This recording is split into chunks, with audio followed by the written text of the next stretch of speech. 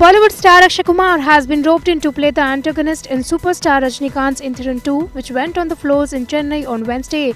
Akshay, who is making his Tamil debut opposite Rajinikanth with this film, shared his excitement on his Twitter handle along with a photograph snapped with the southern superstar. He tweeted, Ending the year on a high note, super excited to be a part of Robot 2 with the one and only superstar Rajni sir. The film, a sequel to Enthiran, will be helmed by Shankar and it also features Amy Jackson, who will reportedly be playing a robot. Enthiran 2 will hit the screens next year.